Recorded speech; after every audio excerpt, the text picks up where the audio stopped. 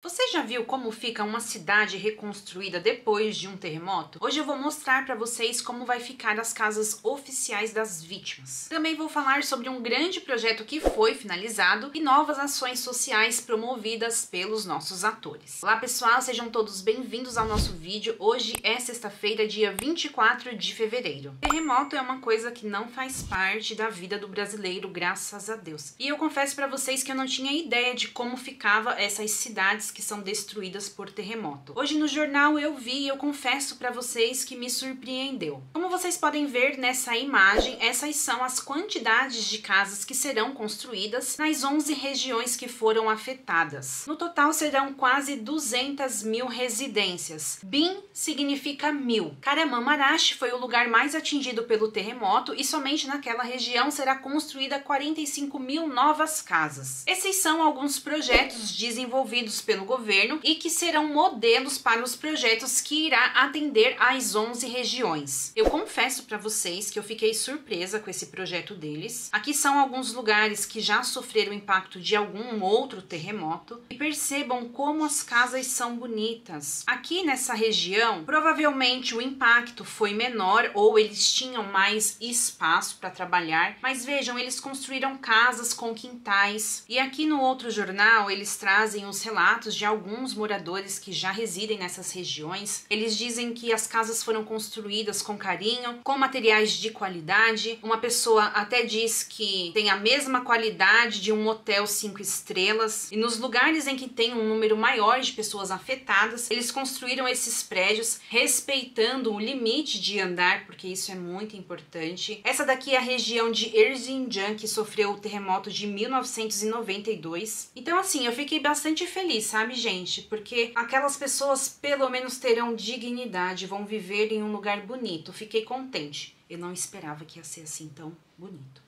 E hoje o governo anunciou que eles já iniciaram a escavação para a construção de 855 casas, casas oficiais. E do outro lado, os nossos famosos continuam a se mobilizar para ajudar as vítimas do terremoto. Uma reunião foi feita com a Associação do Combate contra o Abuso Infantil. Muitas das pessoas que nós conhecemos estavam presentes, os Gegurel, Keren Bursin, Serkan, Chukru, Burju. E nesta reunião eles discutiram as ações que eles podem podem fazer em parceria com os órgãos do governo para ajudar as crianças na recuperação pós-terremoto. Uma outra campanha que também está sendo feita e está circulando nas redes sociais é a Um Aluguel, Uma Casa, no qual alguns atores e famosos se comprometeram a pagar o valor do aluguel para um determinado número de famílias, alguns mensalmente e alguns anualmente. E agora vamos falar da tão esperada série El Turco. As gravações de El Turco foram finalizadas com sucesso, check. Foi finalizada ontem, no dia 23 de fevereiro, e nós temos alguns vídeos da comemoração de toda a equipe após a conclusão das gravações.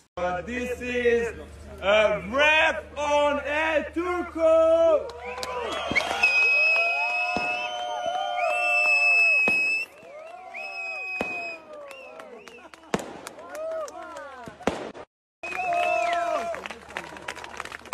Do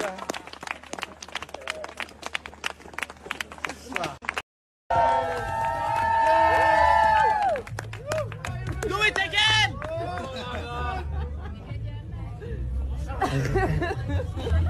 Senti falta do Genyaman nessas comemorações, mas tudo bem, as gravações foram finalizadas. Eu também não vi nenhuma pessoa do elenco nas comemorações, nenhum rosto familiar. Já sabemos através do Instagram que Gretinha já retornou para a Itália e nós seguimos aqui acompanhando para saber quais serão os passos do Genyaman. Nesse vídeo que eu vou deixar nos cards, eu apresentei para vocês todos os atores que estão ao lado do Genyaman nesse projeto e agora a gente só quer saber, né, quais serão os próximos passos. Todo ano falam de Janyaman no reality show italiano Ilha dos Famosos. Esse ano de 2023 não está sendo diferente. Muitas coisas estão retornando lá do ano passado. Eu nunca assisti nenhuma versão desse Ilha dos Famosos e repito para vocês, acho pouquíssimo provável que Janyaman, neste momento da carreira dele, vá parar para fazer reality show. Eu não sei, gente, mas reality show não tem uma reputação muito boa, né? Então, por isso eu duvido que reality show faça parte da estratégia do Jan Yaman para a carreira dele. E agora, nesse momento de finalização desse projeto, a pergunta que não quer calar é: para onde Jan Yaman irá? Eu acho que ele vai para a Itália. Eu não acho que ele vai retornar para a Turquia. Lá é a casa dele. Algumas pessoas na internet especulam se ele vai voltar para a Turquia para ajudar as vítimas do terremoto. Eu acho que não. Eu acho que o Jan Yaman segue os compromissos dele lá na Itália. Tá bom, minhas queridas? Vamos aguardar. É, o turco está chegando. Vamos ver se teremos Janyaman em Los Angeles. Todo ano começa agitado pro Janyaman, né? Já repararam? O ano passado foi do mesmo jeito. Apesar dos pesares, apesar do ano ter começado com tanta notícia ruim, com tanta morte, eu tô sentindo que esse ano vai ser muito bom para ele. Tá bom, meninas? Um beijo, fiquem com Deus e até o próximo vídeo. Tchau!